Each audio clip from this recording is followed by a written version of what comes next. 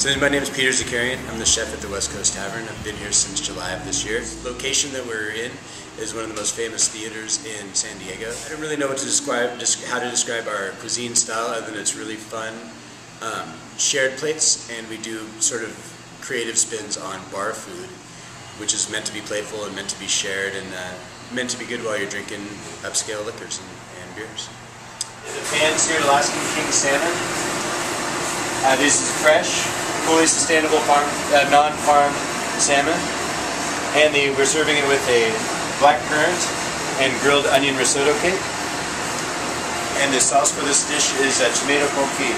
So right now I'm going to sear the salmon and also keep the risotto cake. The reason for doing the cake is during service, it's a lot easier to prepare a dish like this with the uh, with the cake pre-formed so that the cooks during service aren't having to heat it um, individually. They're, they're able to just heat them individually and finish them in the oven, and so they're super nice and hot and melted inside without having to have them in the steam table so their, their risotto can be at its maximum freshness, as well as the fish.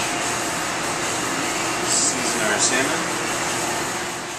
So I got into food service, into cooking and being a chef and all that, when uh, I realized I wasn't going to be a professional musician. Seemed I was always a good cook, and it's the only other thing that satisfies both my nature, my my need to create, and my also need to make money and all that kind of stuff. Um, the key to searing fish properly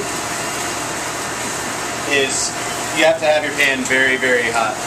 The purpose for sealing fish, for searing fish, is to uh, is to sear in the flavor and the and the moisture that's inside of the inside of the fish, so that it doesn't dry out, and, uh, and it also gives nice, that nice brown color. And I really enjoy the whole dynamic of working in a kitchen. Um, but I, and I've tried other jobs and just eight hours in any other position feels like an eternity to me, and 12 hours in the kitchen just feels like a regular day of work. So uh, I guess that's why I stay in the business is the satisfaction I get from the actual job. Before we sear the fish, I sear both sides of the risotto cake, put it in the oven to get it hot, and by that time, your pan is probably hot enough to sear fish properly. Now we'll sear the salmon.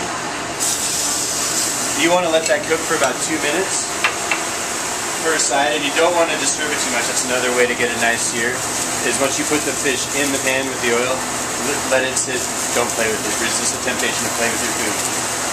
That's for later. The quality of the ingredients is what drives my passion for food. Um, if you start with really quality ingredients, it's pretty hard to make bad food. You know, quality ingredients coupled with proper tech, cooking technique, and you're going to have a pretty good meal. You know, like in France, the reason why the bread's so good is because you walk across the street and you get your bread fresh every day.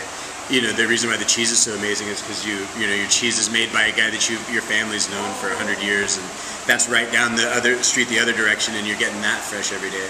So, so while I'm doing that, I'll toss my microgreen salad. This is primarily as a garnish, but it's also part of the flavor component of the meal.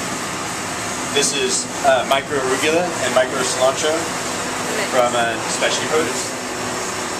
And so I'm tossing with a little bit of the juice from the uh, from the salmon that we will the, from the sauce for the salmon that we will sear the salmon with once it's done.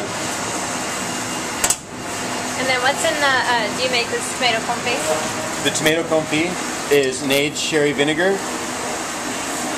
uh, finely brunoise shallot and chive, a little bit of honey, and a little bit of, of olive oil. It's a very, very simple dish. The, the, the acidity offsets the fish perfectly with the, from the tomatoes. And the tomatoes, as they, the reason why it's called a confit, it's sort of in its, it's, it's in its own juices. So as those tomatoes break down into the sauce, you can really taste the, the juice from the tomato itself.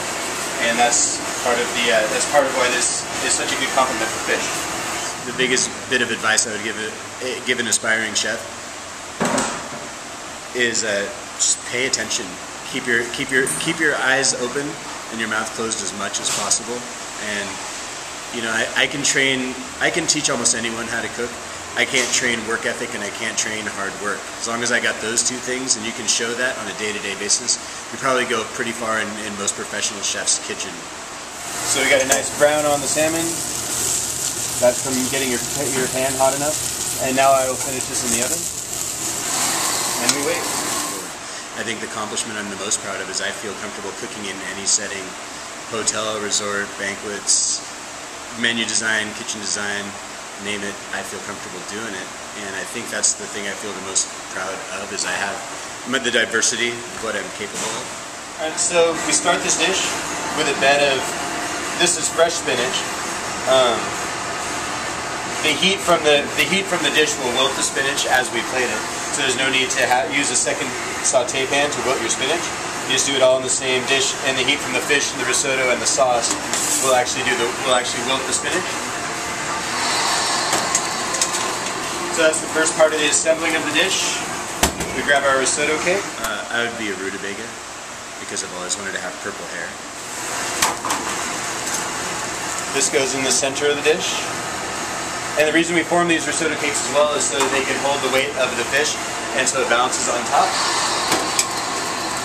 And we grab our salmon, loosen it up in the pan a little. And we'll just place this right on top. Now I'll save, I'll use my same saute pan, and it's called deglazing. This is to get the flavor of the salmon off of the dish, and this is also to heat up. This saves a little time in the kitchen because you're using the same pan, and it also gets more flavor into the sauce because you get the flavor of the fish, and it, and it heats your sauce immediately, so your sauce can be as fresh as possible. So that's it for the sauce. It's nice and hot. It's reduced down a little bit, and this just goes directly over the top of the fish. And this again also helps wilt the spinach underneath the fish.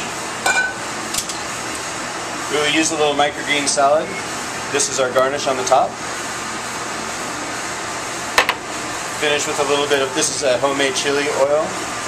It's very, very mildly spicy. And there you have it. That's a new signature dish for West Coast Tavern.